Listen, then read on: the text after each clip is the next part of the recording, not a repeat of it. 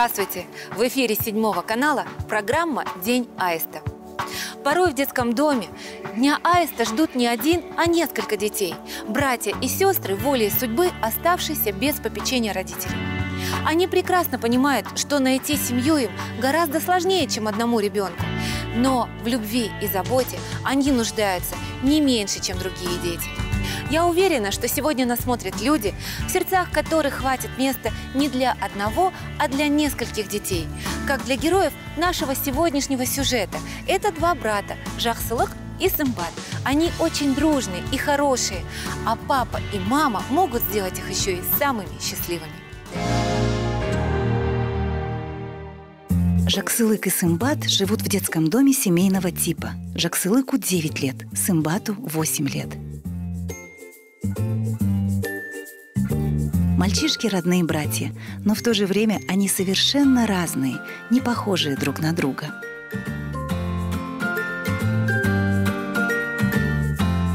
Я хочу стать футболистом. Мне нравится из футболистов Неймар, потому что он э, знаменит и хорошо играет. Когда я вырасту, я хочу художником стать. Нравится рисовать бабочек, радугу, цветочки. Еще дом люблю рисовать. Стоит заметить, что планы на будущее у мальчишек меняются каждый день. То они решают стать космонавтами, то, плохо разобравшись в банковской системе, Жаксылык пожелал стать банкоматом. Впрочем, активно общительный и любознательный Жаксылык может стать кем угодно, если сильно захочет. Сымбат, напротив, более замкнут. Он натура творческая.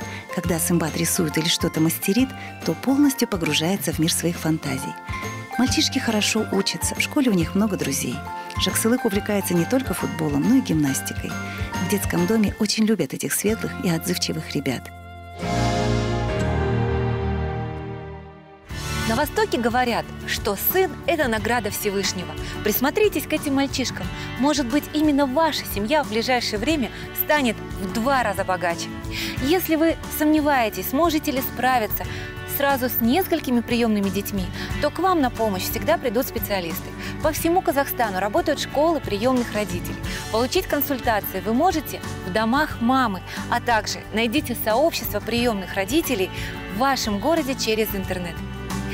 А чтобы познакомиться с Жахсылыком и Сымбатом, вам нужно обратиться в органы опеки города Алматы, узнать о других детях, которые тоже ждут свою семью.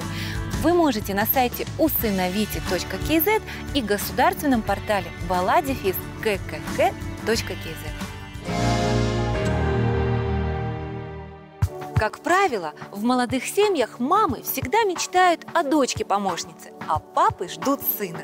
Я хочу познакомить вас с семьей, в которой пока есть только брат и две сестрички. Это Айбек, опора и защита двух своих сестер – Аяжан и Айгерим. Дети прекрасно ладят друг с другом, они очень дружные.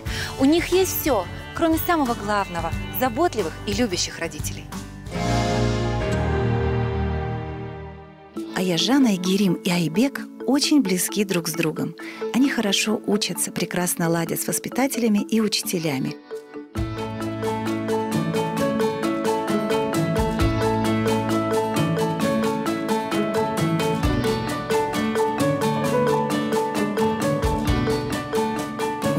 Много друзей и в школе, и в детском доме.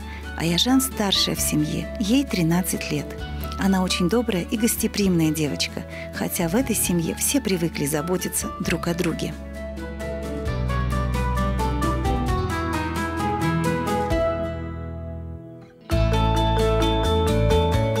Сестренку зовут Айгерам, ей 11 лет, она заканчивает пятый класс. Она очень любит шутить. Айбек, ему скоро будет 9, и он ходит на гимнастику. В будущем Айбек мечтает стать врачом. Он самый младший, но чувствует, что единственный мужчина в семье. Ребята очень бережно относятся к своим семейным ценностям. Они всегда настроены оптимистично, помогают друг другу. Воспитатели говорят, что это очень самостоятельные дети. Но Аяжана, Игерим и Айбек не могут скрыть потребность в семье. Им необходимо, чтобы мама и папа радовались их успехам, болели за них на спортивных соревнованиях. Они очень любят друг друга и готовы разделить эту любовь с близкими и родными людьми. мечтаем о том, чтобы эти ребята стали частью чьей-то семьи, важной частью чьей-то жизни. Пусть это будет опека, усыновление или патронат. Самое главное, чтобы в судьбе этих детей случился день аиста. Чтобы встретиться с Айбеком, Аяжан и Агирим, вам нужно обратиться в органы опеки города Алматы. А узнать о других ребятах, которые живут в детском доме и которых тоже нужна семья, вы можете через сайт усыновите.кз или государственный портал baladefis.ккк.кз. Давайте все вместе загадаем желание. Пусть дети всей земли всегда живут со своими родителями.